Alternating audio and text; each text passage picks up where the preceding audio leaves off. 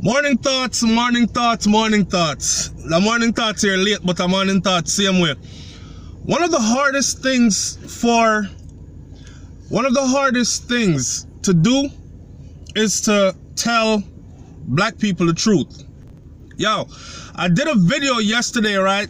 And I want y'all to go view the comment section. I've erased some comments that were very disrespectful. The video was about the Black Panther new movie, right? Mind you, I understand that the movie is hyped up and it's a big Marvel film and all this other stuff, right? But what I said in that commentary in no way disrespected the movie, in no way degraded the movie, in no way did I ever say the movie won't do well. What I said was the movie is not going to be as big as movies like Superman or Batman or these other types of movies. Reason being, you're looking at a black superhero, right? Versus white superheroes that stand for America, blah, blah, blah. Now check it. With that being said, I went a little deeper trying to educate some people. Check this out. When I'm not a big Marvel fan, I'm not a big comic guy, right? When I first heard somebody say, you're going to see the new movie, the Black Panther movie, I was like, they're like, it's going to be huge. And the first thing I thought about was, they're making a Black Panther movie? You talking about afros, fist in the air, Huey P. Newton, that Black Panther movie, and it's gonna be huge in America? Um, no, I haven't heard about it, but I'm gonna go do some research. When I went and did my little research, it didn't take much. It was all over the place. Oh, Black Panther superhero. Okay, it's something different. So, in my video about the Black Panther movie not going to be as big, what I drew was an analogy between Black Panther and Black Panthers, right? When I heard it, that's the first thing I thought. And I'm telling you that in the United States of America, if I should step into a room right now, especially anywhere in these southern states that I'm at, and I say Black Panther, the first thing they're gonna say, the white people in there are gonna think automatically, they're not going to think it's a movie, a superhero, Marvel comic movie. They're going to think, oh, that organization, Black Panthers. That's what I was saying in, in the movie. That's what I was saying about the movie. Black people seem to cannot take the truth. You rather crucify me and try to kill me with your negativity. Oh boy, bye. Girls, a boy, bye. Black people always tearing their own stuff down. How am I tearing that down by telling you the truth and enlightening you to certain things? When I hear Superman, when I hear Batman, when I hear the Avengers, when I hear any one of those names, nothing about them says black. Nothing about them says Black Panther, which sounds just like Black Panthers. How dumb, how, how could you not see that? That was a simple, we can't even have a simple discussion. Oh, you trying to tear it down. How about this? How about this? The only black person that owns some shit as far as movies go and authority in creativity goes, how we're portrayed on the big screen is a black man that dresses in a dress all the damn time. And half of his role, he's a woman. He plays Madea. he plays um wh whatever else. And we're talking, you know who I'm talking about, right? Tyler Perry, right? How many more Tyler Perrys do we have? They don't have to all dress in dresses. My question is, how many movie theaters do we own? Not movie theaters. How many movie production studios do we own? We have a lot of black stars that are multi-millionaire from acting in Hollywood, which is the white man's world, because we don't have a say how we are portrayed on the silver screen. That's all I was trying to say to you guys, right? So get your little panties out of a bunch and fix your attitude and learn to have some conversation and learn to talk to people who hold different views from what you hold. You might be enlightened because we can all learn from each other. I've always said this on my channel. I don't call anybody stupid.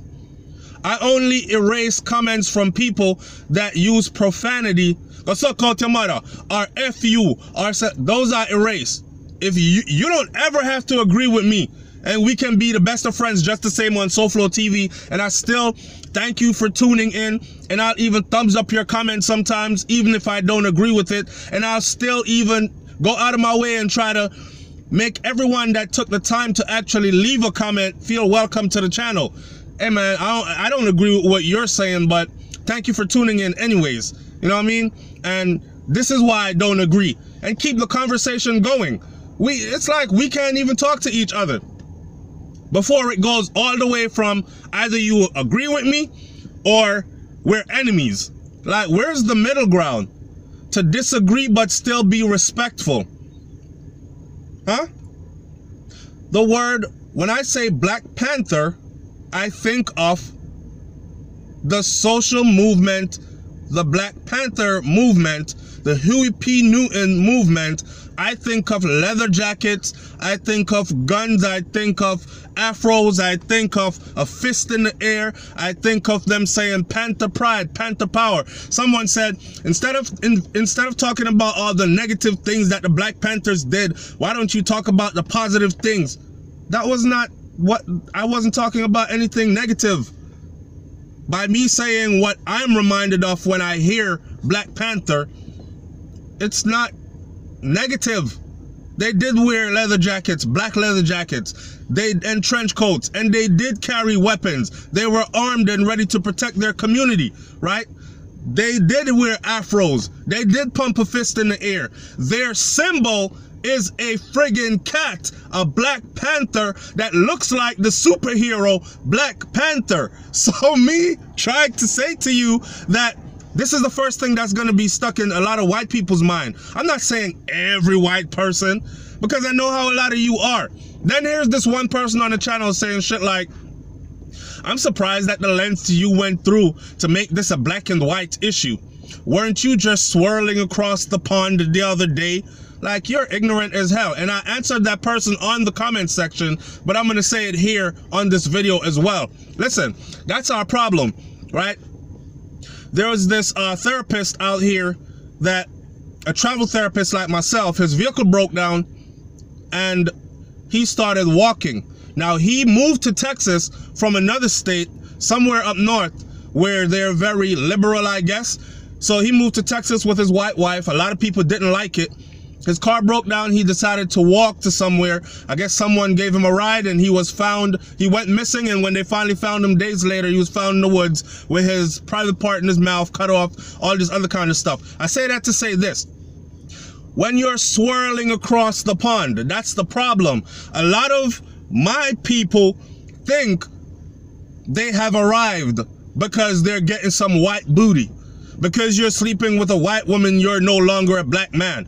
Or because you're sleeping with a white man, you're no longer a black woman.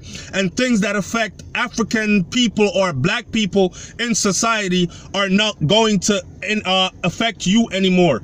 That could be furthest from the truth okay? There's a white woman right now that has a video up on YouTube where she talks about being in Jamaica and she talks about how much she loves Jamaica and she talks about how she gets all the special privileges because she is white.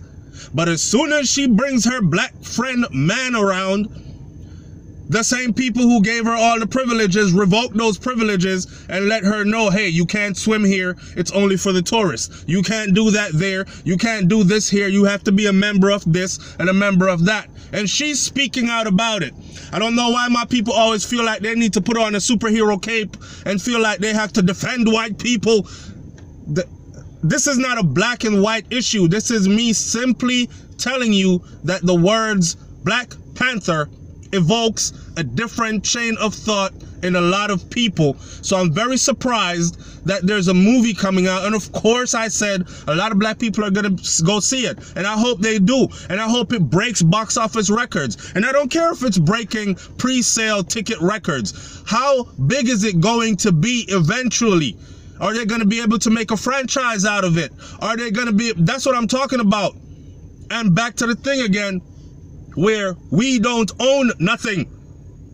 all these powerful black people that you have and they can't pull their resources together and own some part of Hollywood or our own film industry that controls how we are viewed on television and through social media or media, period, mass media, then what? If you want to see the epitome of a black woman, you got to watch shows like Ink or Bad Girls Club or um, what's the other one called? Housewives of Atlanta or and she's always mad, always have multiple sex partners, always or don't care. On to the next one, willy-nilly throwing her vagina everywhere, her clothes are tight. She only cares about all the white brands that cost a lot and all these other things. That's how we're portrayed. That is not who we are though, because I know a lot of sisters uh, that are far from that, right? Productive, progressive, highly educated, and conscious. Why can't we be portrayed like that? But anyways, I'm gonna leave it right there because I understand sometimes that some of my conversations are too deep for some people, and I don't want to continue to keep on dumbing myself down. But it feels like that's what I have to do sometimes. I didn't create this platform for me to have to dumb myself down. I created this platform for people who are able to uh, engage, even if they disagree. You dig? All right, it's SoFlo TV, man. Like, comment, share, subscribe. Leave your comment in the comment section below. Let me hear what you got to say about this one. I'm out.